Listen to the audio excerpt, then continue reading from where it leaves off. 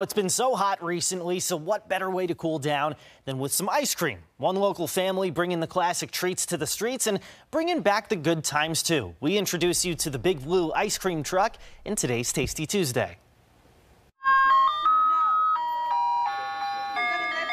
It's a sound and a sight you can't miss.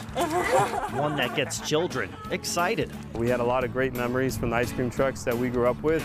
Jacob Crossett remembers what it was like as a kid, Some things are getting lost. which is why he opened the Big Blue ice cream truck with his wife.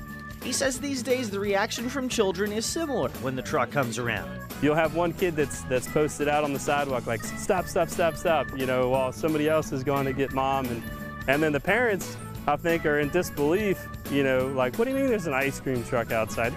All the classics line the side of the truck, including action figure pops, eclairs, and so much more.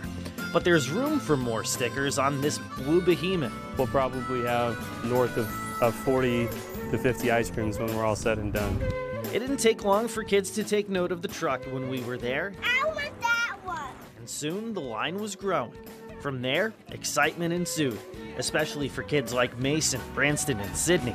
Sydney tells us it's been a while since she's seen something like this. Like when I was Last like year. four years ago. Wow. But within seconds, Mason grabbed. Oh yeah, cookies and cream. When we asked Branston what he got, he told us I don't know. You know, it was cold, sweet, and that's all that mattered.